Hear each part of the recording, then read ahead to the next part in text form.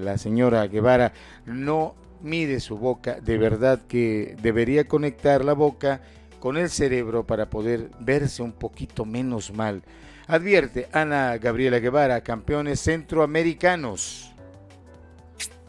Atletas mexicanos que ganen medalla en Juegos Centroamericanos.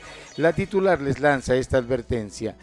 Ana Gabriela Guevara se volvió a pronunciar, volvió a abrir la boca por los apoyos a los atletas mexicanos mismos que, como ustedes lo saben, ha respondido con medallas de oro en los Juegos Centroamericanos y del Caribe. Pero la titular de la CONADE lanzó esta advertencia.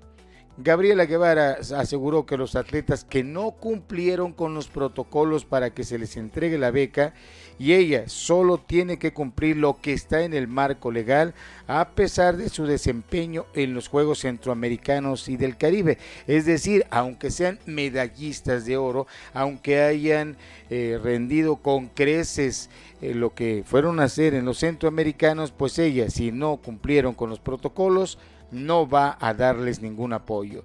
Y dijo la titular, yo no busco nada, yo ya cumplí. Lo único que sí nos dieron la razón fue que están impidiendo legalmente darles la beca, no cumplen con todo el protocolo que se tiene para llevar a cabo y ser merecedores de la beca. O sea que para la titular el hecho de ganar una presea dorada no, es, no los hace merecedores de su beca, que pues ya sabemos que es lo que tiene contemplado cada atleta de alto rendimiento en este país o cuando menos hasta esta cuarta de formación así estaba contemplado.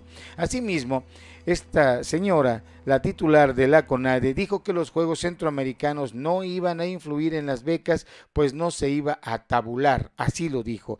En un futuro inmediato se determinó que los Juegos Centroamericanos no tabulaban para beca, porque entonces nos íbamos a meter en un atropello interno, porque el evento siguiente lo tenemos a meses. ¿Qué dijo la señora? Absolutamente nada.